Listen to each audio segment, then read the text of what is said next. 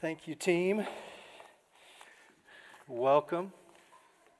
Aren't we thankful for all the bugs that have been killed the last couple of days? There's some benefits. Uh, thankful for warm houses and family. Time away from our normal routines. We hope you've got some break from work. It's good to see some families uh, here tonight together and guests uh, worshiping with us. And I just want to say uh, welcome to each one of you and Merry Christmas. Uh, we were talking earlier, and I mentioned it earlier today to someone in our family that uh, because of the time zones, uh, Bethlehem's already on Christmas Day. So this is both a Christmas Eve service here and a Christmas Day service there as we celebrate happy birthday to Jesus. So uh, we're covering them both. Now, that's not why we chose not to meet tomorrow, but uh, we trust that tomorrow uh, or over the next uh, week of holiday time that you would uh, just please uh, think of others in our church family, give them a call, be hospitable, pray for them. Uh, there's some in our church family that uh, this is a very unique Christmas. And I'm thinking of uh, Chris and Jean Stevens as they uh, continue to wait day by day and maybe even hour by hour for their oldest son Scott, who's anticipated to pass here at any time. And for them, each Christmas going forward is just going to be a little different, isn't it? Not bad, but different. When they give it to the Lord, uh, God can use those things to, to change who we are and how we think about these, this, this moment. Well, the last song that we, oh, my name is Pastor Van. I'm one of the elders here. Let me just, some of you are visiting and wondering uh, whose turn it is. Uh, you met Pastor Greg earlier. Uh, Pastor Steve's sitting over there. Welcome, sir. Stay awake. And uh, Pastor Will and his wife Kim are in the beautiful uh, reaches of Southern California. And so, uh, hope they're doing all right with all those bugs. Heard that, Kathy. Matthew chapter 2. If you have your Bibles or your phones, Bibles are great because you can mark them up a bit. Matthew chapter 2. And uh, we're going to continue on in the Christmas story. Uh, David and the worship team uh, led us through Luke chapter 2 and the visit of the shepherds to Bethlehem, to the manger on that evening that Jesus was born. And uh, tonight we're just going to look at a second aspect of the Christmas story, which is the story of the wise men. And uh, full, just to get it out there, uh, a lot of Christmas traditions, Christmas cards, Christmas songs, hymns, uh, beautiful poems, manger scenes, uh, photos uh, don't quite put the wise men where they belong. Uh, so we're going to just look at that tonight, and I don't want to get into uh, all the, the details of, of correcting what's wrong, but I want to see what actually is just in this passage in Matthew 2. And uh, I got to practice it last night. Last night I was with four young guys at the Greene County Juvenile Detention Center, and uh, it was a a great conversation through Matthew chapter 1 and 2, actually. Uh, some of you perhaps are familiar with Matthew chapter 1. Matthew chapter 1 takes us through one of those uh, couple of places in the New Testament where there's a list of names. And when you get to those spots in the Old Testament, sometimes that's when you just really wonder what's going on here and why did they bother to tell us who his son had who his and he keeps going and begat begat begat father of father of father of over and over and over again. But matthew as he writes the gospel the account of jesus king jesus the king of the jews he takes us back to the genealogy of jesus very similar to what the old testament writings would have been because those folks in the Old Testament, the Jewish people, many of them were looking for, anticipating the Messiah to come. They were waiting for the anointed one, the promised one. And way back in Genesis 3:15, God said that that promised one would come. And one day the serpent, the evil one, would bruise his heel but that the Messiah would ultimately crush the serpent's head and do away with evil. And from that moment to Abraham and or Abram in Genesis 12, where God made a covenant with him and said that one of your descendants is going to be, bring a blessing to the whole world, to all people.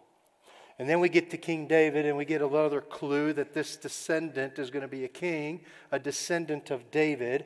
And Matthew, when he goes through the genealogy right there in chapter 1, highlights Abraham and highlights David. And at the end of that list, gets to Jesus. And all this anticipation for thousands of years of where's the answer to the sin problem? Where's the answer to my son Cain killing Abel? Where's the answer to all the evil at the time of Noah and the time of the judges? Where's even the answer for King David when he sinned against the Lord? Adultery and murder. Right? Where's the answer? And they waited and waited and waited. And then, in God's perfect time, as we read it this, mor- uh, this evening, Caesar Augustus began to move. Mary and Elizabeth, John the Baptist, and God's plan started to unfold in a perfect way at a perfect time. And we get to Matthew chapter 2. Let's read a little bit. And just uh, to give you a heads up, we're going to uh, break this, these 12 verses down into three sections. Uh, they're not going to be equally balanced, but uh, each section I just want to draw out a truth for us to think about this evening. Okay? So if you would with me, please, Matthew chapter 2, just follow along as I read these first two verses. After Jesus was born, in Bethlehem. During the time of King Herod, Magi from the east came to Jerusalem and asked, Where is the one who's been born King of the Jews? We saw his star in the east, or when it rose, and have come to worship him. So let's just look at these two verses. Let me just draw out a few things. This is sometime after the birth of Jesus. We'll find out later that they came to Bethlehem, but Jesus was with his parents in a house. We'll also get a little clue that it was several months, maybe a year, maybe even close to two years after the birth of Jesus that they arrived, when King Herod learned about that and when they first saw the star. And so when Herod did his awful thing of, of killing the babies aged two years and under, that would have been a safe window where he thought he was going to get rid of Christ, right? To get rid of this threat to him. And so, sometime after the birth of Jesus, it also probably has to be at least eight days after his birth, because on the eighth day, according to the Jewish custom, Mary and Joseph took Jesus into the temple to, to have him consecrated, consecrated to the Lord, the firstborn male son, and circumcised there. And they offered pigeon or a dove, the, the cheapest, the least expensive of an acceptable sacrifice. And if the wise men would have already visited them and brought gifts to them, it seems like they probably would have been able to afford a, a more costly sacrifice, right? But somewhere after the birth of Jesus, he was born in Bethlehem. That's consistent with what we had in the book of Luke. During the time of King Herod. Uh, King Herod's a bad guy. King Herod was put in place by the Roman Empire, and his job was to keep that region of Judea peaceful, under wraps. Like, and the Jewish people were always the, the troublemakers, it seemed, in the Roman Empire, always having these little skirmishes going on and tr- trying to reject the rule of the Roman Empire. So Herod had a tough job. One of the things Herod was doing to try to, I guess, buy the Jews' favor was he was investing a lot of funds into building, remodeling the temple called Herod's Temple. And during the time of Christ, that temple was still being built during Christ's life, uh, invested by the Roman go- government, something that Herod had done. Uh, Herod, as he got older, and this is probably just a year or two before he died, he became very paranoid. Uh, he eliminated uh, on purpose one of his wives, at least two of his boys, sons. He was afraid they were going to take his throne and usurp his power. Uh, there was a saying at the time that historian accounts that it'd be safer to be a son of Herod. I'm sorry, safer to be a pig of Herod than a son of Herod. Uh, he's getting rid of sons more than he's getting rid of his livestock. Uh, also, right before his death, according to accounts, he had a whole bunch of Jewish people arrested, falsely accused, and imprisoned. And he instructed his guards that on the night of his death or the day of his death, that these people all had to be executed. And the reason was this is our friend King Herod. No. The reason was is he wanted to hear the sound, have the sound of weeping and wailing being heard when he died. And he knew that wouldn't happen if just he had died. And so all these others would have died too that same day, and the people would have been weeping and wailing over their deaths as opposed to celebrating the death of Herod. Just a wicked man, an evil man late in his life, very paranoid. It says there, during his time, that magi or wise men. Okay? Uh, we just don't know much about them. They came from the eastern regions. How far east?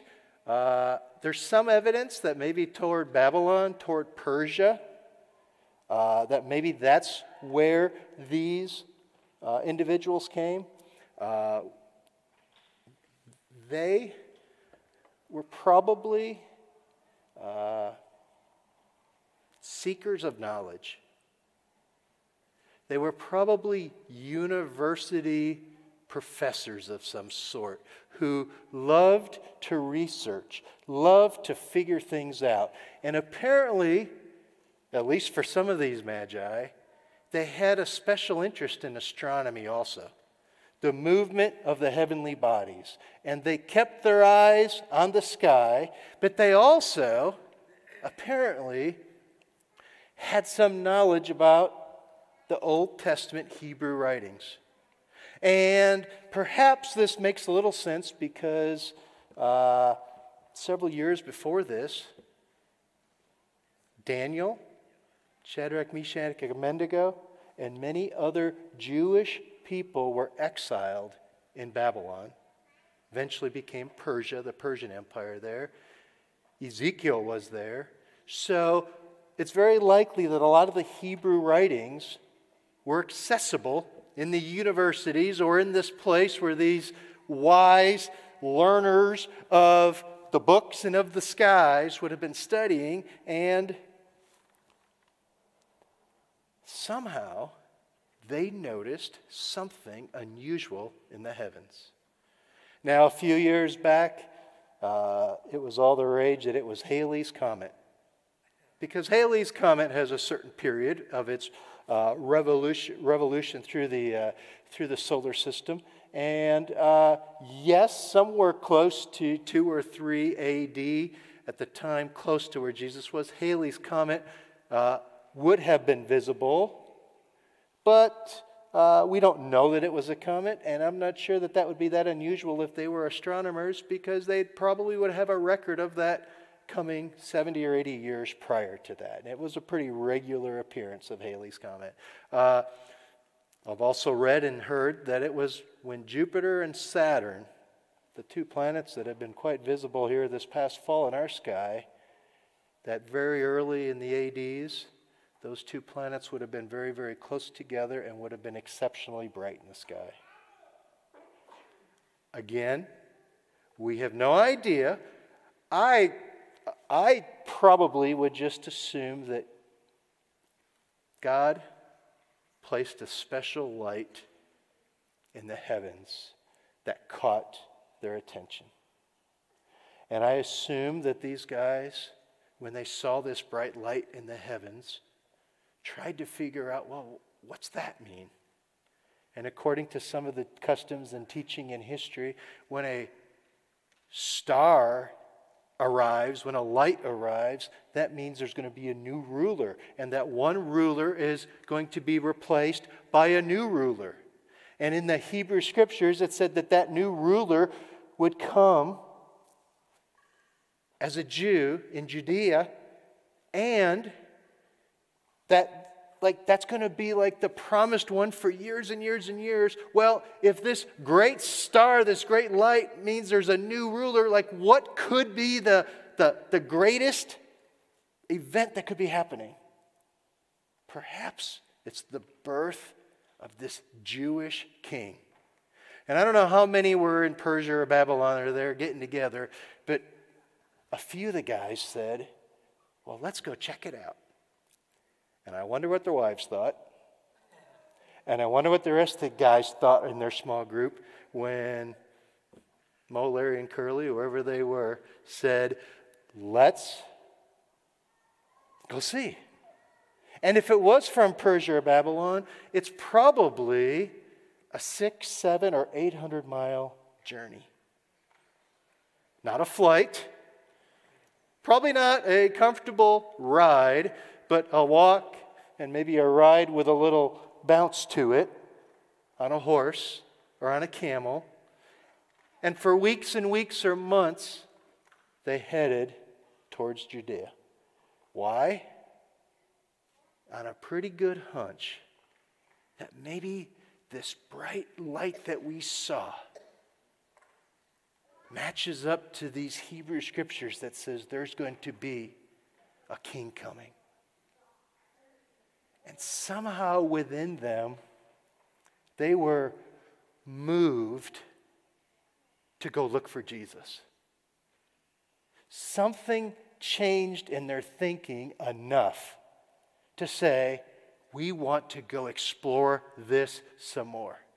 We want to find out something more. And in fact, they went to great lengths to go look for Jesus because of the hint of the star and the hint of the scriptures, it was enough to compel them to go search for Jesus. All right, let's stop here. Here's our first point for this evening. Uh, those of you that are guests, uh, I'd like you to participate, and our children are in here, and this is a moment for you to participate too. I often ask our folks to participate actively. So I want you to think about and then share with a neighbor here briefly, if you would, please. Who are those people? What are some of the circumstances that have helped you in your journey to find Jesus, to believe in Jesus, to follow Jesus. A parent, a teacher, a car accident, a tornado. What could you just tell a neighbor and say, I'm thankful to God that He used this person or is using this person. If you're a child, who are those people that are helping you to have an interest in Jesus? For these wise men, it was a star and the scriptures. Okay, if some of you got some thoughts and ideas in your mind, in your hearts. So, uh, if you have a neighbor sitting really close by, it's easier if someone says, ask the question first, or you can just start saying, hey, I'm thankful that this happened, or so and so has helped me to learn about Jesus. And maybe it's since your moment of salvation, what has helped you to grow in learning more about Jesus? Go. Talk to your neighbor just for a minute. I'm just going to give you a second. What are those things? Who are those people?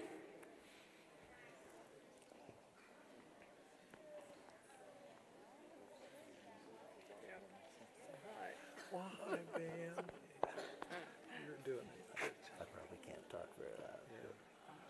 I youth pastors who would shoot baskets with me in the gym for hours along with Sue Calloward, who I talked about a couple weeks ago, my Sunday school teacher. My parents who took me places as a child to take me to Sunday school, take me to church.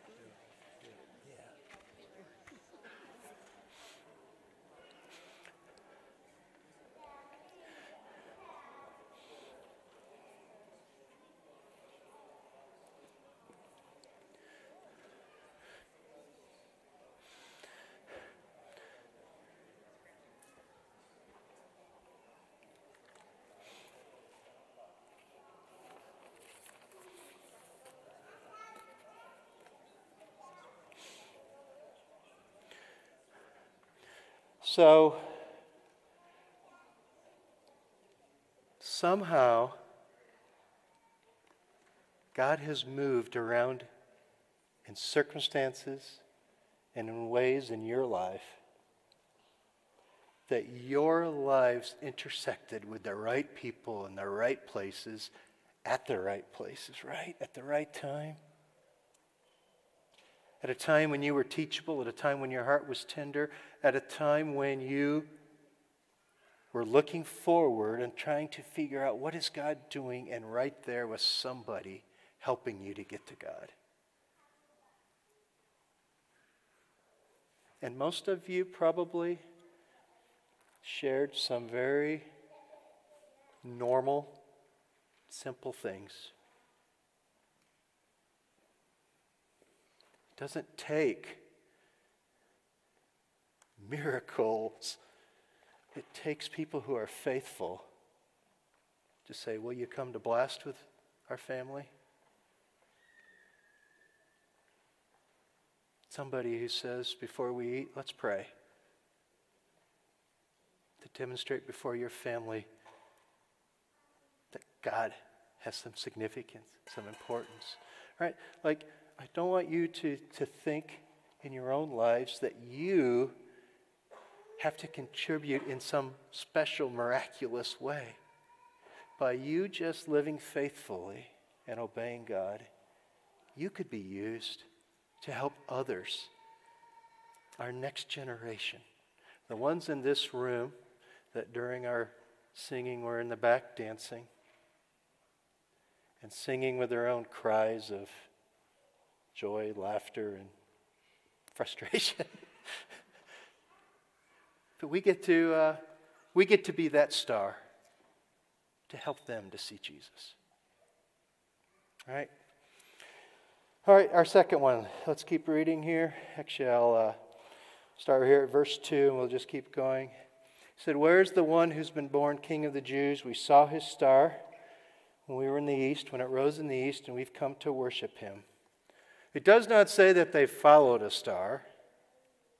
It says that they saw the star, and, and uh, we don't know if they did have the star in their sight the whole time or not, but certainly it seems like the bright light that's unusual and the scriptures got them moving. They head to Judea and they go to Jerusalem. And verse 3 it says, When King Herod our mean, nasty king, heard this. He was disturbed, he was shaken, and all Jerusalem with him. Why would King Herod be a little shaken and upset? Well, I, two possible reasons. One is hey,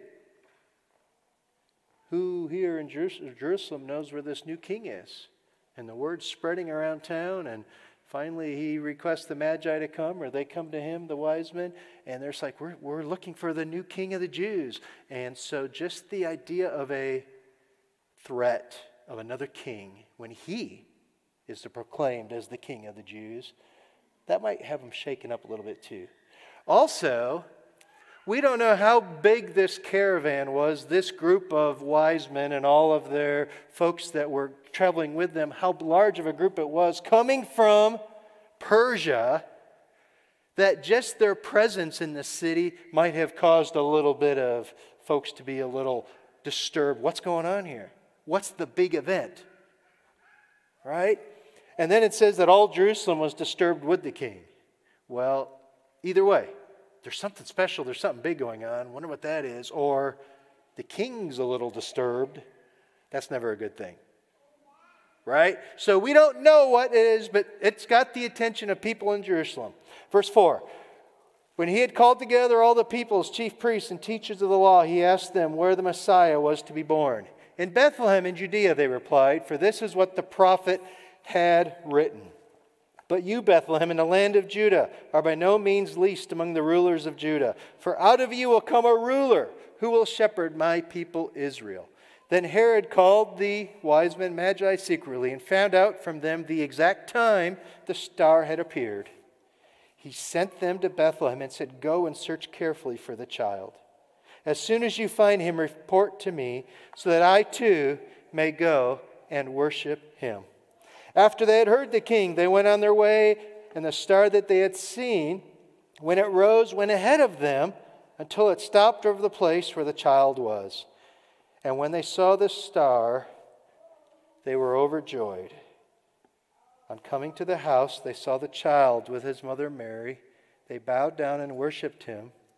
Then they opened their treasures and presented him with gifts of gold, frankincense, and myrrh. We'll stop right there. Uh, three responses to this event Herod. Uh, Herod's a fake. He's a hypocrite. He's a fraud. He said, I want to go and worship when he really wanted to go and get rid of Jesus. The religious leaders, I don't know if you caught this, but he wasn't familiar with the Old Testament writings, but he knew there were a lot of Jews who were very interested. And he said to them, Hey, there's these men here from Persia, from Babylon, from the east. They're looking here in Jerusalem for the king. You would think the king would be in Jerusalem, a major city. They're looking. Do you know in your writings? And as they opened the scrolls or had it memorized, they immediately knew this king was going to be born in Bethlehem. So think of these wise men who've traveled six, seven, eight hundred miles, and the Jewish religious leaders who were five or six miles from Bethlehem. And the Jewish leaders knew, but they didn't move. They didn't go they were really quite disinterested in knowing the Word of God. Now, they knew God's words, but they were right, quite content with their pursuit of the law, their pursuit of doing, of, of trying to honor God by their obedience. And it turned into not much different than Herod a hypocritical obedience. Right? Like on the outside, we have to do these things, but their hearts were far. And all they had to do I mean, there, there's this excitement. We've come this far, these wise men are saying, hundreds of miles. Where is he? Well, according to the scriptures, he's going to be born in Bethlehem. And they're like, well, we're going. And the religious Jewish people stayed. There's nothing here in the text that said they got up and moved. They were disinterested. What about the wise men? That's who we like to focus on, right? Because they finished their journey. They went to Bethlehem. It's interesting that uh, it says here that when they left Jerusalem, that the star appeared in the sky. It seems like it probably had disappeared for a time being. And maybe just while they were in the city, or maybe it was that they just appeared when they were in Persia, and it was enough to draw them to Jerusalem. But it appeared again, and it says that they rejoiced with exceeding great joy. Joy on top of joy. They rejoiced greatly there. They were filled with joy when they saw the star. Why? Because it was another clue, another hint, another little message from God. Was it Psalm uh, 19? The heavens declare the glory of God, and the, the stars, the planets speak forth. Well, the message they got again was the star came back in the sky, and they're like, oh, we must be on the right, right way. And they went into Bethlehem and they found the baby and said, when they saw him, they immediately, what? They bowed down and worshiped him and then gave him gifts then gave him gifts.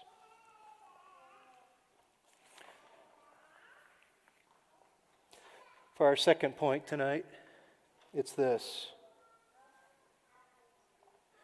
I don't want us to miss the Herod character. Because in our Christian life, all of us have a Herod in us. All of us want to stay on the throne and not step aside and let Jesus rule. All right, there's two kings in this story. There's even two kings of the Jews here. And I think we're really, really quick to say, well, we're, we want to be like the wise men. We're, we're the wise men. We, we're here on a Christmas Eve worshiping? Maybe. Or maybe we're like the religious leaders that this is just what we do. But an encounter with Jesus, we're not really interested in that. We just want to be able to let people know around us that this Christianity thing is something that we want them to think we're good at doing. So, what's the Herod in our hearts? What's the place where King Jesus would say, You're not letting me have it, own it, control it. You're holding on to that, trying to control and manage it yourself. Let me be the king of your time, of your values, of your finances. Let me be the king of your children and grandchildren. I've got them. Who can take care of them better, you or Jesus? You have nothing to contribute at night while your kids are asleep and you're asleep. And it's by God's grace and goodness that they wake up in the morning and you too. But we all get Herod or the religious leaders that comes up in our hearts from time to time. And how do we get rid of Herod? We repent and we confess. And we say, God, forgive us. And I release this to you. And it's okay to say that over and over again. Because Herod just keeps popping up sometimes in the same spot in your life. And then when you, by God's mercy and the power of the Spirit, begin to get victory over this Herod in this spot, uh, don't rest too secure because he'll pop up someplace else. So, in this second section, is there a place for you tonight to just stop in this moment? Say, I don't want to be a hypocrite. I don't want to be a fraud. I don't want to say Jesus is my king and like Herod, I want to go worship him. When in reality, you just want him to get out of the way because he's bothering you.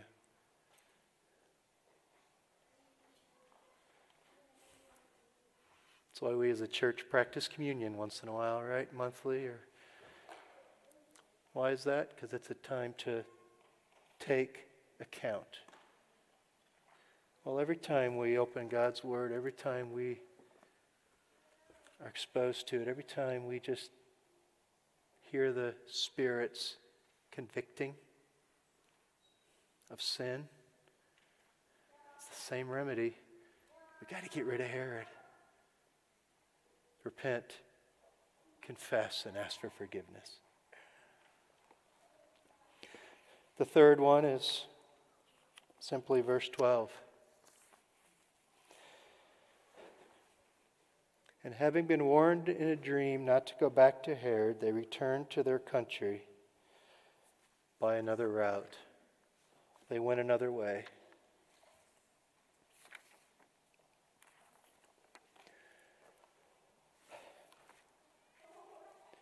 You know, it would have made perfect sense for them to go back to Herod because Herod and the religious teachers were part of how they found Jesus. Right? Like, God used Herod and the religious teachers to get him to Bethlehem. It seems normal that you would go back and say, Thank you for telling me. And we found Jesus. And they're living at the house there on Maple Street or whatever it was. Right? That seems like the right thing to do. But that night, they had a dream that was kind of like the star, except in this dream, they said that they heard, it's written here, that God told them they had to go a different route.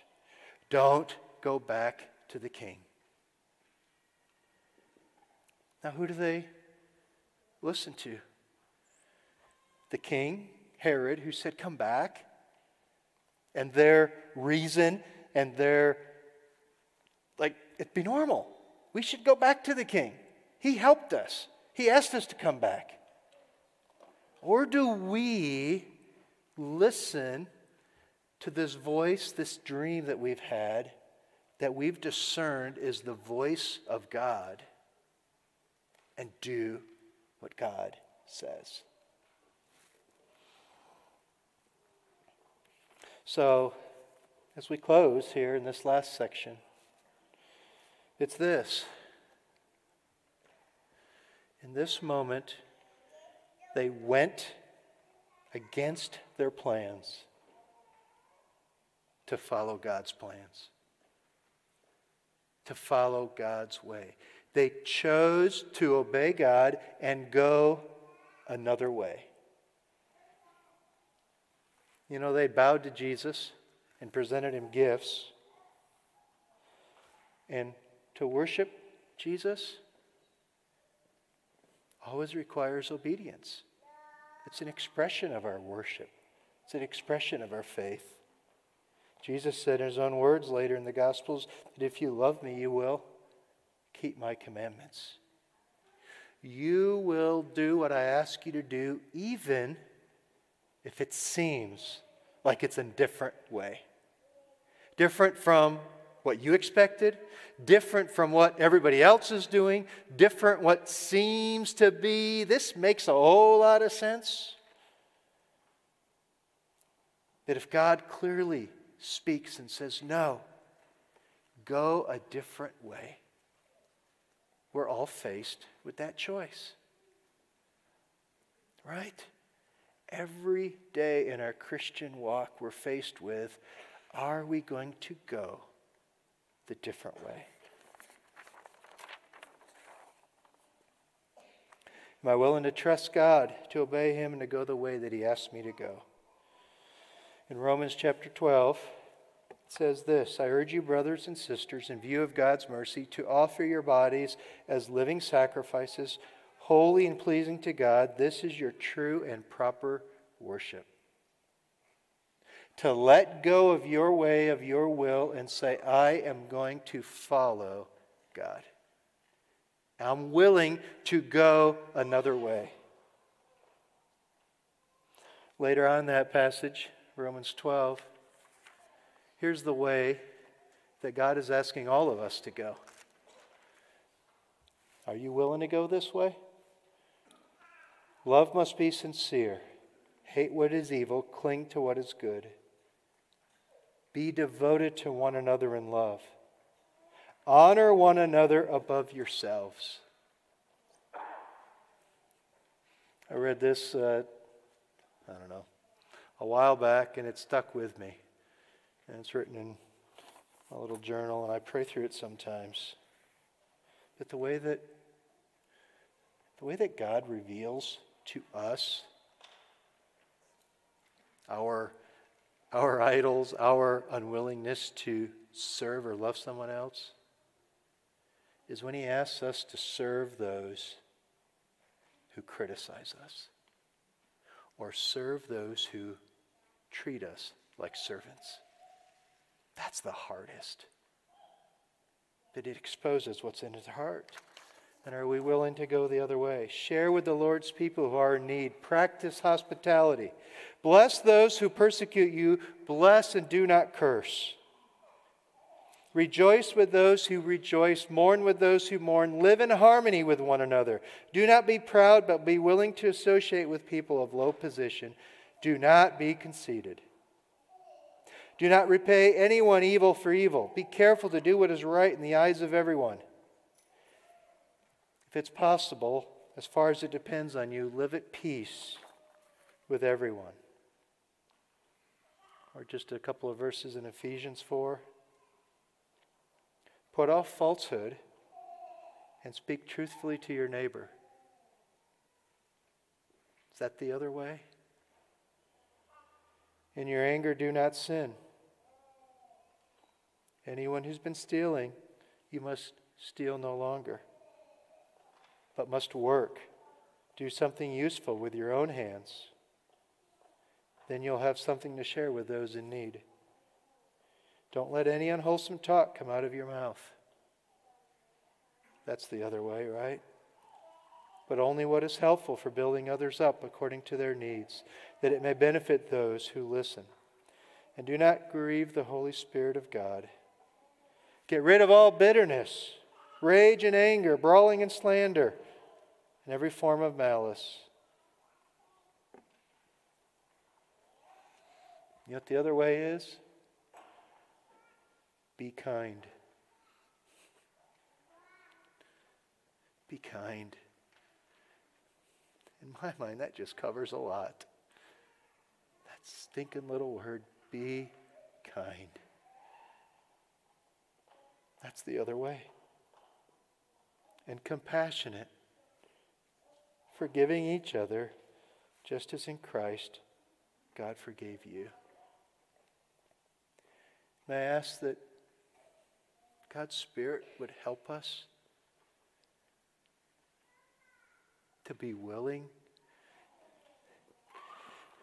When we open up the Bible, sometimes we, in our Bible study, we finish with application.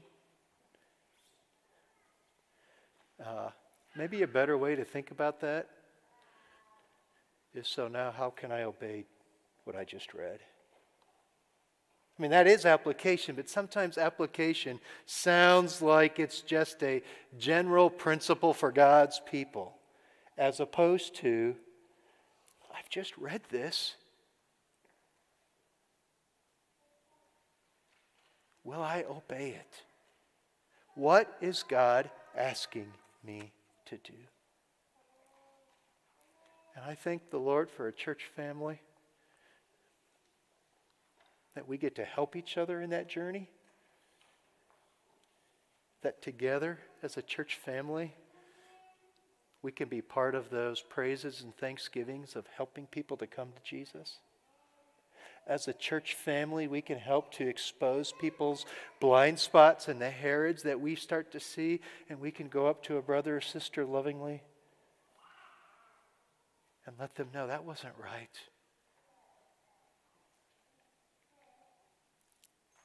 And that together we can encourage each other to go the way that God asks us to go, the other way ask Jared and Hillary to come on up here and let me just close our time in prayer, and then they're going to light the last candle, the one that represents the birth of Jesus. God, thank you for these words from Matthew 2. Might your spirit take your truth and as we've been exposed to the light of the truth, might we, like the wise men, get up and move towards Jesus. In his name we pray. Amen.